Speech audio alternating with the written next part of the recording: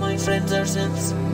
One of the many things that I like about the Dirtywave M8 is that it uses mechanical key switches and it also uses hot swappable key switches, which means that you can change them out to suit your own particular tastes and preferences. Now, if you're lucky enough to not know anything about mechanical keyboards or mechanical key switches, then you might be wondering what the purpose of this is. Why would you want to change them out anyway? What's the difference after all? Well, there are three kind of main different types of switches, and it gets far more complicated than this, but just to distill it down for these purposes, you can get clicky switches, which as the name suggests, give you a very obvious audible click sound when you press them down. You can also get tactile switches, which don't necessarily give you a clear audible click sound, but they do give you a tactile response, as in there's a bump or some kind of resistance in there that you feel when you press down in the switch. And then you get linear switches, which are smooth, as in there shouldn't be any real resistance, or at least not a click or a bump in there. There are also differences between the actuation force of switches, so how much pressure do you have to put on a switch in order for it to press or to activate. And from there, there are so many other differences and kind of degrees here that it kind of spirals out of control because people start to talk about the kind of lubricant in each of the switches. Different switches have got different kinds of mechanisms, so some have got springs, some have got kind of lever things. And it is one of the joys of becoming obsessed with the mechanical keyboard world that you can kind of experiment with different switches and really get a feel for what become quite minute differences, but which really enhance your experience, or at least you tell yourself that it does enhance the experience. But the main kind of differences are the things I've outlined to you. Personally, I have unfortunately fallen down the mechanical keyboard rabbit hole it is a long, dark, expensive rabbit hole to fall down, but I have experimented with various different kinds of switches and I do enjoy that kind of part of the process. I've built various mechanical keyboards and it's something that I like doing. So I wanted to try out some different switches in the M8, particularly because the tactile switches that are included as stock aren't quite tactile enough for my tastes. I'm someone who likes real validation that I've pressed a button, whether that's with a click or a real thick tactile bump that gives you a nice soft bottoming out. So I have ordered a couple of different switches from AliExpress. Both of these arrived today and I got two sets for $6.50 each. So it was about 15 or 16 pounds I think with shipping for 10 of each of the different kinds of switches. The first set of 10 are the same kind of switches that are in the M8 already, as in they're tactile and it's got the same kind of construction and everything. These are called burnt orange or tangerine Kailh low profile switches, I think, but they are basically just the same except they've got higher actuation force, so they take a wee bit more pressure to activate. The second kind of switches are the ones that I'm going to put in today, and these are Navy switches. These also have a higher actuation force than the stock ones, so they've got like 70 grams pressure needed rather than 50 grams or something like that. But they're also clicky, and they're not just clicky, they've got an extra kind of thick click bar in there, which should, in theory, mean that rather than being high-pitched click, they should give you quite a, a low-pitched clock sound, maybe. But I quite like that kind of thicker, uh, you know, definitive sound when you press a switch. So I'm going to basically show you the process of taking the switches off and hopefully if you're considering doing this yourself but don't really know what the procedure would be like or how difficult it would be I'll be able to show you my various mistakes and then you can decide whether it's something you want to do or not. It should in theory be fairly straightforward but uh, I haven't really seen anyone else do it, or at least I've not seen people go through the act of doing it yet. So, uh, yeah, that's what I'm going to do. I should probably give you a couple of caveats before I dive in and do this. First of all, the Dirtywave M8 does have a particular kind of switches that it supports, and so you can't just plug in any old switch into that. And I'll talk about that in a wee bit probably, but basically, you need to get the Kailh low profile switches. You can't use Cherry MX or anything like that, or you could fuck everything up. The second thing to be aware of is the nature of hot swappable switches, and it might you know, you might get the impression that hot swappable switches means that it's just a case of unplugging the switch and plugging in a new one, and that you can do that as often as you like. And whilst that might be true in theory, in practice, the more you change out the switches, the more the contacts and stuff get worn down because they are electrical components, really, at the end of the day, or at least they're part of the construction of the PCB and everything. So you don't necessarily want to be switching these out every day or every other day. It's kind of something where you can change them out a few times and experiment with them, but at some point you have to commit and make a decision. Okay, so here is my M8 in its case. You can see I've got my custom white keycaps installed on that already. And what I want to do is replace these switches which are under the keycaps with my new switches. And to do that, what I'm going to have to do first is remove the keycaps because you don't want to try and remove the switches whilst the keycaps are on. There's a variety of different ways you can remove keycaps in general. There is a wee tool like this, this thing. You might have seen this elsewhere. This is a kind of standard keycap puller, which you basically put it around your keycaps and then pull them off. However, these don't really fit the Kailh keycaps as you can maybe see there. They're not quite right. They're really designed for keycaps that are a bit thinner like the Cherry MX keycaps. So this is no use for these purposes. So I've ordered this thing which essentially is a pack of double-sided uh, pullers. So one side is for the keycap and one side is for the switch. So this side here with the teeth is for the uh, switch itself. You can see it's got a wee hook on the outside and this is for the keycap and it's got a kind of a an adjustable springy thing. So I'll take off the key caps just now and we'll see how it goes.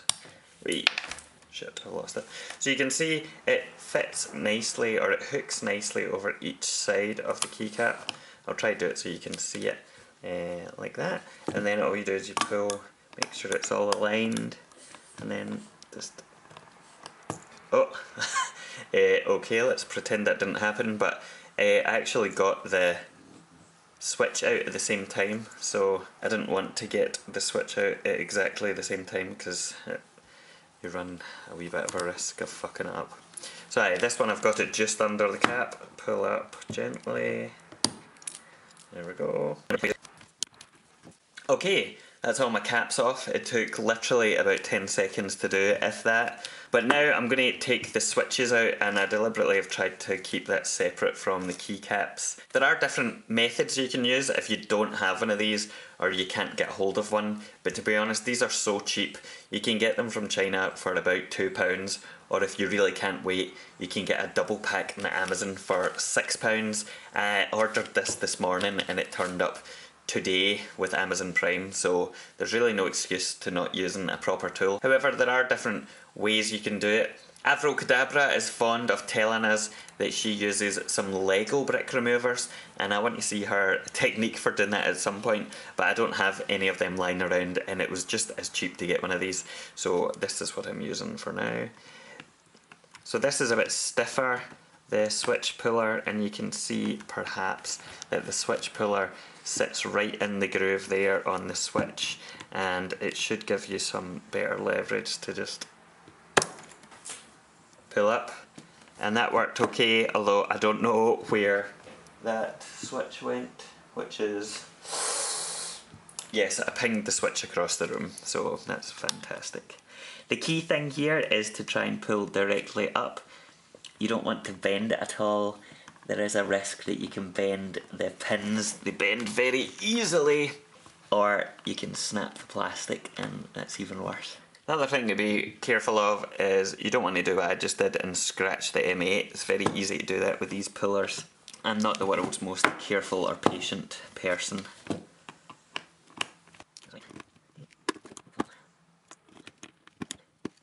Okay, so this is the M8 with no switches on it. It generally went okay. I did scratch the paint a wee tiny bit. Sorry, Trash80. I've got a couple of packs of switches here that I spoke about. Uh, I have some orange ones, and these are similar to the stock brown ones which are included, but they're a bit more, they've got heavier actuation force. And then I've got these navy blue things, and these ones have also got a heavier actuation force, but they are clicky. So I'm going to install these. I believe they go up this way. I 100% should have checked this before doing it. So to do it, it should be straightforward to install these, put it in place and then press firmly down. Yep, cool. It's really important to make sure they line up and you don't bend anything on the way in. And of course that the pins are straight before you put them in.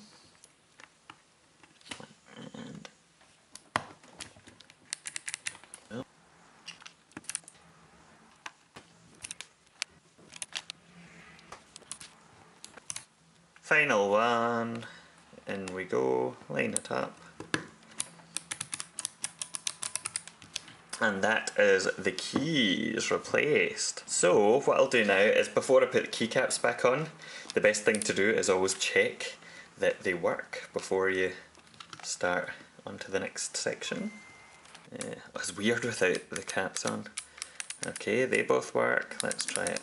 Left, right. So arrow keys are both fine. Yeah, so all the keys work.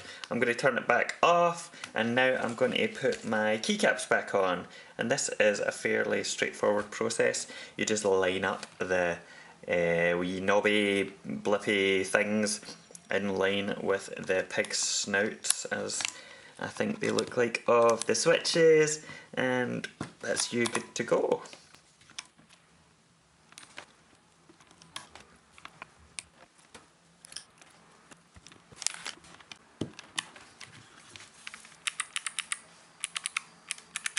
So that's it. That's how easy it is to switch out your switches. And I was expecting there to be some more problems than there were because I have built many mechanical keyboards in my time and there's always some sort of problem with them. But I think the really solid build of the M8 helps because it means that you've got a really thick foundation or a really thick base to kind of leverage yourself off of which is always good. And so you can hear it in action. I'll hold it up to the mic it's a much more satisfying key press as far as I'm concerned. And honestly, it's just really nice that you're able to customise the M8 in this way. If you are thinking about switching out the keys on your own M8, just remember that you do have to make sure the keys or the switches are Kailh low profile switches. You might read online that some kinds of Cherry MX switches are compatible with the Kailh switches, however that only applies to the kind of full size switches. These are low profile switches and so they have a different kind of stem in the middle and if you try and use other kinds of switches it isn't going to work. The nice thing about low profile switches is of course that they're much smaller or much uh, lower in height than the other kinds of switches you can get. However it does mean that you're limited to these particular Kailh switches and there isn't as huge a number of them or as big an amount of choice out there but there is enough choice so you can have some kind of different actuation forces and some clickier keys than others etc. For now I'm fairly happy with this. I am pleasantly surprised at how straightforward it was. I will probably try these out for a while and see whether or not I prefer the clicky switches or the tactile switches and then make a decision on what ones I'm going to keep in there. I do suspect that I might keep the clicky switches but change them out for a different kind of clicky switches because there are some very nice Robin Kailh low profile switches which are this kind of very fetching blue colour around the outside which just really pops against the M8 and even though they're a wee bit lower actuation maybe that will end up being better. But that's enough kind of switch geekery for now. Um, I'm away to try and find the other Choc brown one that I just pinged across the room when I pulled it off. And hopefully that will help somebody who's curious about changing out their switches but isn't sure of the process. If I can do it and not fuck everything up, then you definitely can.